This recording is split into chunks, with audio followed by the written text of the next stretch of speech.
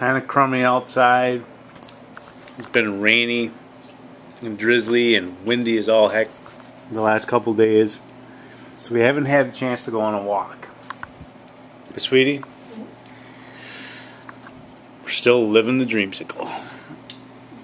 Love them dreamsicles. I, I love dreamsicles.